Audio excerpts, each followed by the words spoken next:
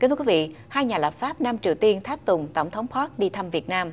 Hãng tin Yonhap của nhà nước Nam Triều Tiên loan tin này cho biết, hai nhà lập pháp thuộc đảng đương quyền Nam Triều Tiên sẽ tháp tùng Tổng thống Park trong chuyến đi thăm chính thức Việt Nam. Họ nói rằng hai nhà lập pháp Lee Bong Suk và Park Min Sik thuộc đảng Sai Nuri sẽ có mặt trong phái đoàn tháp tùng Tổng thống Park trong chuyến viếng thăm 5 ngày, khởi sự từ ngày thứ Bảy. Ông Lee Bong Suk, Chủ tịch Quốc hội Nam Triều Tiên, là Chủ tịch của Hội hữu nghị các nhà lập pháp Nam Triều Tiên Việt Nam, và ông Park Min Sik là một thành viên của hội. Hãng tin Yonhap tường trình rằng trước khi sang Việt Nam, dự kiến Tổng thống Park sẽ thực hiện chuyến đi 4 ngày đến thăm Saint Petersburg, thành phố lớn thứ nhì của nước Nga, để dự hội nghị thượng đỉnh G20 gồm 20 nền kinh tế chủ yếu của thế giới và một số các cuộc họp song phương diễn ra bên lề hội nghị.